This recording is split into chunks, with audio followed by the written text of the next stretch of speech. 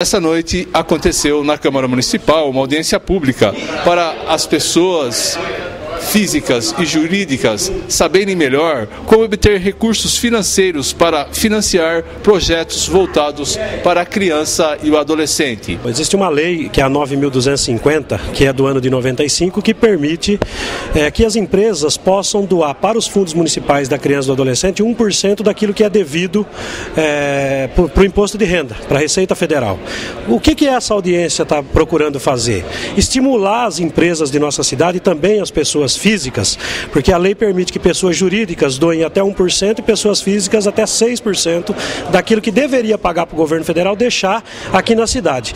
E o Concriama da nossa cidade aprova e apoia vários projetos importantes, fazendo arte, é, é, Casa do Pequeno Cidadão, são vários projetos, Liberdade Assistida, tantos outros projetos que são apoiados com as nossas crianças e que têm recursos do Concriama. Então a participação dessas empresas é muito importante. Então a audiência ela tem o, o intuito intuito, o objetivo de divulgar essa possibilidade para que as empresas não levem o dinheiro todos para a Receita, deixe 1% da, da Receita aqui na nossa cidade. Ah, funciona assim, ó, a empresa quando ela vai pagar o seu imposto, ela tem que pagar 1% daquilo que ela deve para o governo federal para o fundo municipal. É só, somente depositar no fundo municipal da criança e do adolescente. O trabalho é, para poder deduzir isso vai acontecer quando a empresa apresenta a declaração do imposto de renda no ano seguinte. Então, é, o exercício até o dia 31 de dezembro, ela faz o depósito na conta do fundo municipal.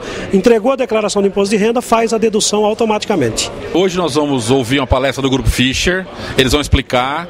Nós fizemos um CD contendo toda a sistemática de como é, proceder, como é que o Grupo Fischer procede em relação ao imposto de renda. Vamos distribuir. Aqueles que não vierem, nos procurem, procure a mim, procure o Aldemir, que está liderando esse projeto junto com a gente. Nós copiamos esse CD, fazemos questão de entregar, a Astrosuco Fischer está à disposição para explicar, tudo no intuito da gente arrecadar mais para o Conselho Municipal e poder, evidentemente, passar isso para as entidades assistenciais de Matão.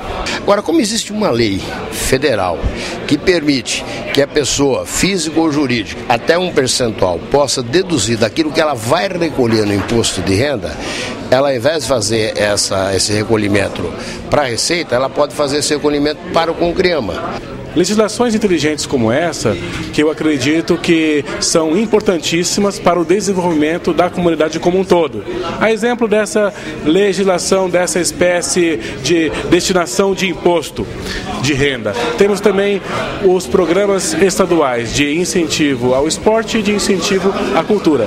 Só que aí já falamos de ICMS. Então todo esse conjunto de legislação vem ao encontro do anseio da comunidade, que é de zelar bem dos seus filhos para que no futuro eles realmente nos devolvam isso em alegria e em uma sociedade pacífica.